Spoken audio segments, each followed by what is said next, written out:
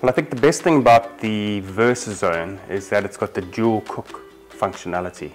So you can either use it as one big basket um, or you can put, for instance, your roast chicken on one side and your chips or potatoes and vegetables on the other side.